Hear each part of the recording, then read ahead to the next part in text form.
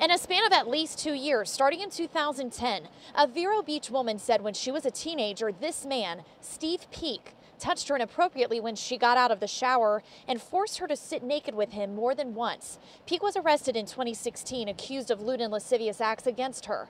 Acts she described on Facebook as leading her to need medication and counseling. It took a long, long time to come to this point to get my power and control back.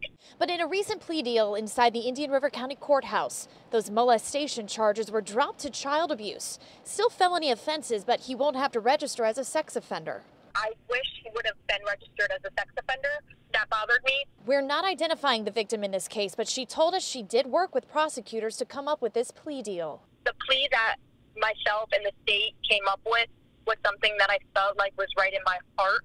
Mostly, she didn't want to bear the stress of going to trial, and prosecutors didn't want to risk him being found not guilty. I don't believe it was fair. A community activist, Sean Elliott, is among those questioning if the former deputy was given special treatment. We're here to ask questions as to why that happened. I do agree with, with some of those comments that, yes, maybe if it, if, if it wasn't a law enforcement officer or it had been someone else, they would have gotten a harsher sentence. The state assures the community he did not get off easy, and the victim still feels validated by the deal. I just really wanted an apology from him